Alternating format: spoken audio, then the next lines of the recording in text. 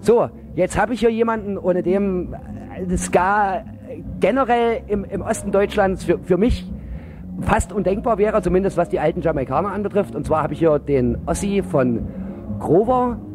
Ossi, seit wann machst du eigentlich Grover oder seit wann machst du die eigentlich diese ganze Booking-Geschichte? Die Booking-Geschichte mache ich seit äh, Mitte der 80er Jahre. Ähm, Ska-Booking mache ich seit Ende der 80er, seit ich äh, seinerzeit das Booking und Management von El Boss und die Ping-Pongs gemacht habe. Das Label Grover Records habe ich dann 1993 gegründet. Hm. Weshalb wir dieses Jahr 15-jähriges Jubiläum haben, wozu es dann auch noch Partys und Festivals geben wird in der zweiten Jahreshälfte.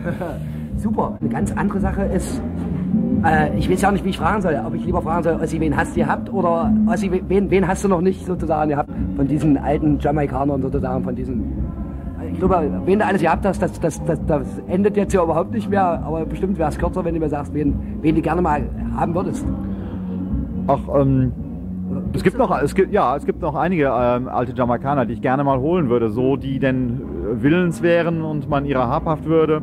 Ähm, es ist teilweise einfach schwierig, ähm, an die Leute ranzukommen. Ähm, man muss Kontaktleute haben, die die kennen, die müssen einen dann auch einschätzen, wie zuverlässig die sind. Äh, jamaikanische Künstler wollen, denke zu Recht, weil sie ja auch äh, oft beschissen wurden, ähm, gerne einen Vorschuss haben. Andererseits schickt man natürlich auch nicht gerne Geld auf eine Insel, die viele tausend Kilometer entfernt ist und ähm, wenn man nicht so genau weiß, ähm, äh, ob derjenige dann auch tatsächlich ähm, rechtzeitig zur Beantragung des Visums auf der deutschen Botschaft erscheint und äh, ein paar Wochen später dann auch tatsächlich den Flieger betritt.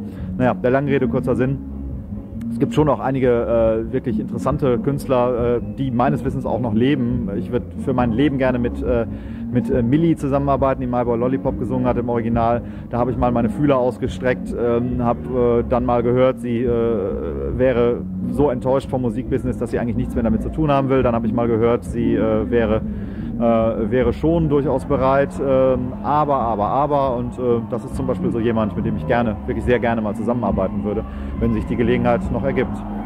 Doreen Schäffer hat uns gesagt, Lord Hannemo lebt in Kanada. Wie sieht es mit Lord Hannemo aus? Äh, ich denke gut und äh, ich denke, der wird auch noch mal kommen. Der war ja schon mal hier und äh, hat ähm, damals in Potsdam auf dem Ska Festival gespielt und ähm, ich glaube schon, dass, äh, dass er noch mal kommen wird. Ich habe auch noch indirekten Kontakt zu ihm, also äh, über die Scatterlights äh, höre ich dann immer wieder mal von ihm. Er ist ja auch vor ein paar Jahren mal äh, bei einer Tournee ähm, quasi als Ersatz für Doreen als Sänger mitgekommen, als, als Doreen äh, wegen einer Hüftoperation nicht reisen konnte. Ähm, ja, also den denke ich, dürfte man hier nochmal sehen. Du machst so viel Ska.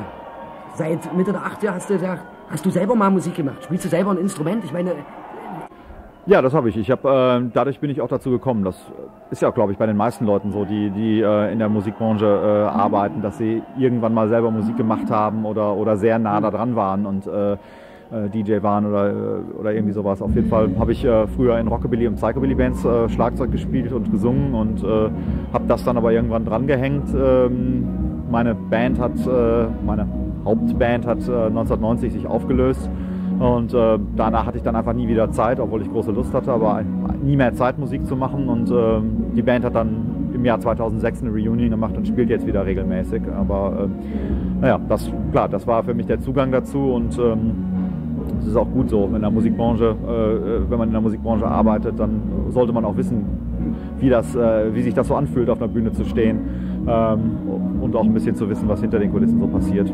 Wie hieß die Band? Sunny Domestos. Gibt es Aufnahmen von dieser Band? Gibt es, ja. Die hat damals Platten gemacht und äh, auch jetzt seit der, nach der Reunion nochmal eine kleine EP.